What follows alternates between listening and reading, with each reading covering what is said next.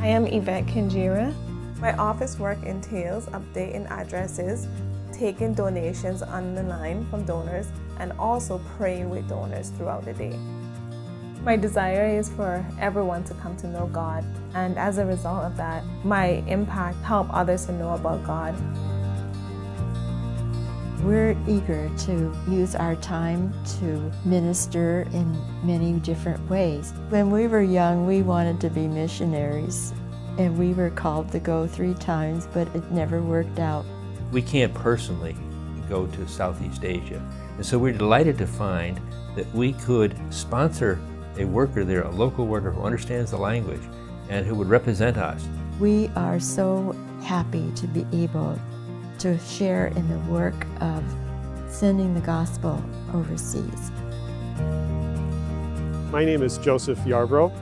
I had a serious condition that only God could heal. I witnessed the, God's miraculous power through this healing, and I wanted to be part of the United Prayer Team because I know that prayer can make a difference. We have been helping with the refugee coming from Burma mainly uh, with the Karen and the Mizo and the Chin. Many of these people are not Christians, and we have the opportunity to not only represent God and country, but God's tremendous plan for their salvation as well. My name is Josiah, and every week at our um, Sabbath school, we read a mission story. We pass our sacrifice box. And um, what you do is you um, you can only put sacrifice money in here.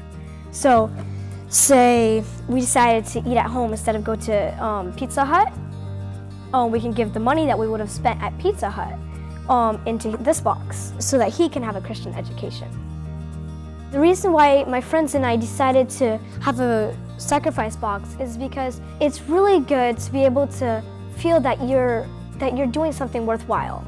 It just makes me happy and my friends happy to know that we're making a difference.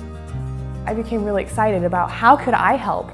How could I be able to support this and to be able to contribute some way to this wonderful work that is happening.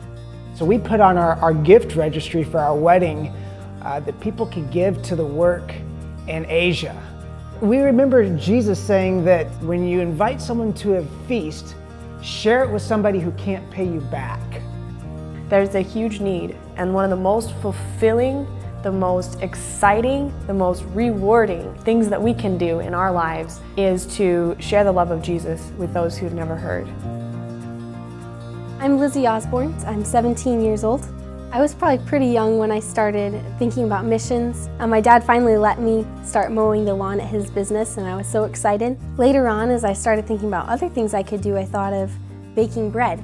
I probably spent a year or so just trying to figure out how to bake bread. I really enjoyed playing piano and so my teacher a few years ago asked if I would like to teach others, younger kids. That's been another neat opportunity to use uh, the talents that God has given me to uh, fundraise, earn money, and send it to the missionaries overseas. In my work, I meet national missionaries in Thailand who are sharing Jesus with Buddhists.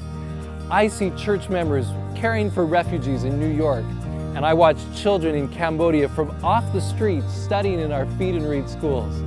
All of this happens because volunteers give their time, their money, and their prayers. There are many more ways that you can extend your influence to reach clear around the world with ASAP Ministries. Take action. Together, let's reach the world ASAP.